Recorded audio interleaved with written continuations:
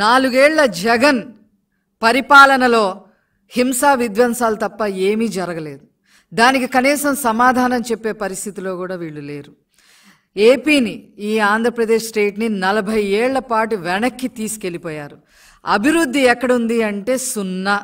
సంపద ఎక్కడన్నా ఒక రూపాయి సృష్టించారా అంటే ఎక్కడా కూడా ఆ దాఖలు కనిపించలేదు. లక్ష కోట్లు అప్పుల్లో రాష్ట్రాన్ని ముంచేశారు. టీడీపీ హయాంలో ఏపీ ఏ రకంగా ఉంది? చంద్రబాబు చంద్రబాబు నాయుడు గారి హయాంలో ఏపీ ఏ విధంగా తీర్చిదిద్దబడింది? జగన్మోహన్ రెడ్డి గారి పాలనలో ఏ విధంగా ఉంది అనేది ప్రజలందరూ కూడా విపరీతంగా చర్చించుకునే సమయంలో వీటి గురించి సమాధానం చెప్పలేక వైసీపీ మంత్రులందరూ కూడా కేంద్రం గురించి లేదా కేంద్ర ప్రభుత్వంలో ఉన్న బీజేపీ గురించి లేదా ఇట్లాంటి మతపరమైన విషయాలని ప్రజల్లోకి చొచ్చిన తీసుకెళ్ళేలాగా ప్రజలు అవి ఆలోచించే విధంగా మాట్లాడుతున్నారే తప్ప అభివృద్ధి ఏ విధంగా చేశాము అభివృద్ధి మేము చెయ్యలేదు కాబట్టి ఏ విధంగా క్షమాపణలు చెప్పుకోవాలి అనే ఆలోచన విధానం వైసీపీ ప్రభుత్వంలో ఒక్క మంత్రికి కూడా లేకపోవటం అనేది దురదృష్టకరం.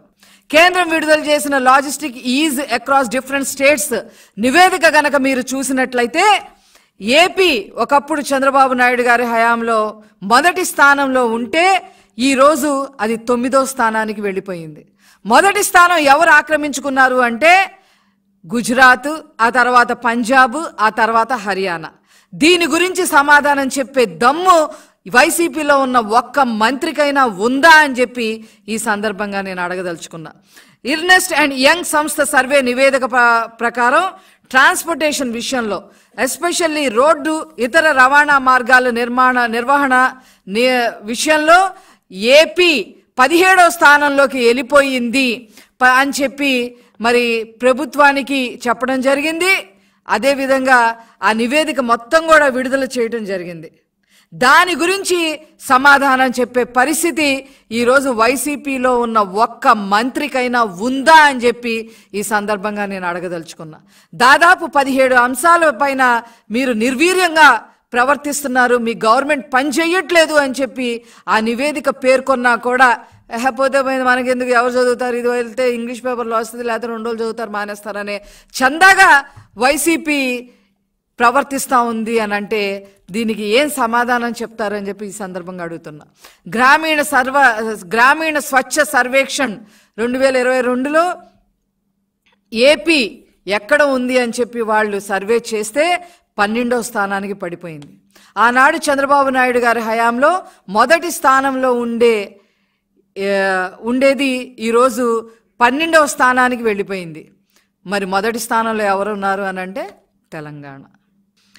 దేశంలో రెండు ఏడు వందల తొమ్మిది జిల్లాలకు ర్యాంకులు ప్రకటిస్తే చంద్రబాబు నాయుడు గారి హయాంలో ఎప్పుడూ కూడా ఉత్తరాంధ్రలో ఉన్న వైజాగ్ కానీ రాయలసీమ వైపు ఉన్న తిరుపతి కానీ కోస్తా జిల్లాల్లో ఉన్న విజయవాడ కానీ ఎప్పుడు ఐదు ఆరు ఏడు స్థానాల్లోనే ఉండేది. ఈరోజు అవి ఎక్కడికి వెళ్ళిపోయినాయో కూడా తెలియదు ఈరోజు మరి తిరుపతి స్థానం కూడా చివరికి తిరుపతి స్థానం కూడా అట్టడుక్కి వెళ్ళిపోయింది. దీనికి సమాధానం చెప్పే దమ్ము అక్కడున్న పెద్దిరెడ్డి రామచంద్రారెడ్డి గారికి ఉందా? చెవిరెడ్డి భాస్కర్ రెడ్డి గారికి ఉందా?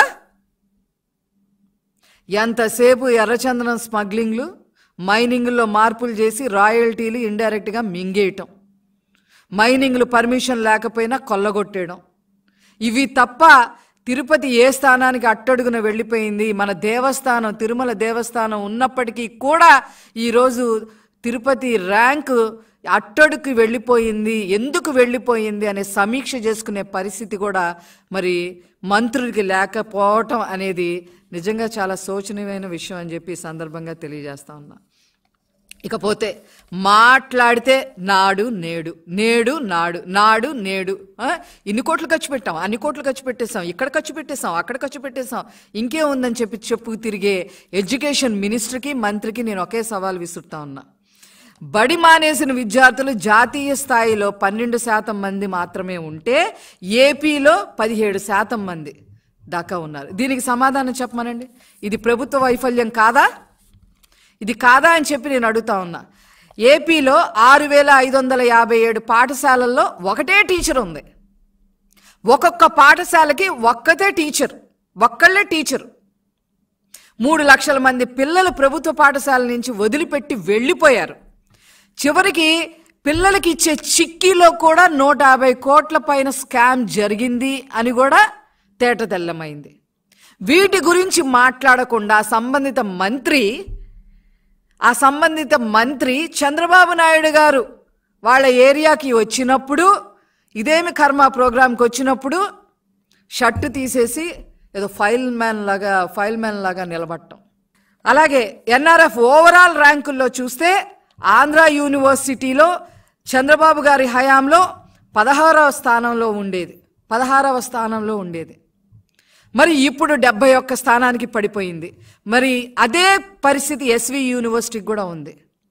మరి ఈరోజు ఇంటర్మీడియట్ ప- పరీక్షా ఫలితాలు అని చెప్పి అనౌన్సులు చేయటం ప్రెస్ మీట్లు చేయటం. సప్లిమెంటరీ పరీక్షా ఫలితాలు ఎక్కడున్నా ఆర్టీస్ అయింది ఇంత వచ్చింది అంది ఆ అనౌన్స్మెంట్లు మీరు చేయటం ఎందుకు? ఆఫీసర్లు లేరా? కన్సర్న్ అధికారులు లేరా?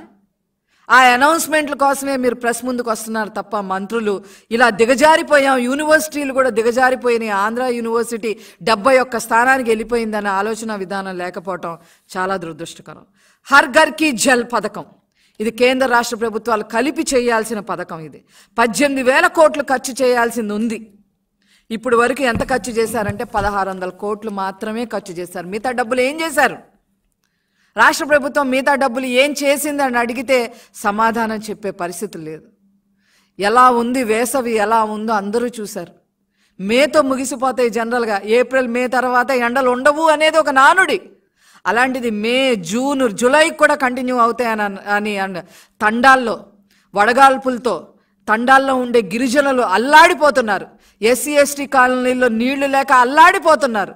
గొంతు ఎండిపోతా ఉంది వాళ్ళది. నీళ్ళ కోసం కిలోమీటర్లు కిలోమీటర్లు నడుచుకు వెళ్ళి వెళ్ళే పరిస్థితులు బిందెలు పట్టుకొని వెళ్ళే పరిస్థితి తీసుకొచ్చింది ప్రభుత్వం. వాళ్ళకి ఏం సమాధానం చెప్తారు మీరు? వాళ్ళందరికీ కనెక్షన్లు ఇవ్వాల్సింది పోయి పద్దెనిమిది వేల ఏడు వంద ఐదు వందల డెబ్బై ఎనిమిది గ్రామాల్లో ఉంటే మీరు అరా కొరాగా ఎక్కడో పది గ్రామాల్లో ఇరవై గ్రామాల్లో చేసి మీరు సోజ్యం చూస్తున్నారు అంటే ఈ మంత్రులను ఏమనాలి?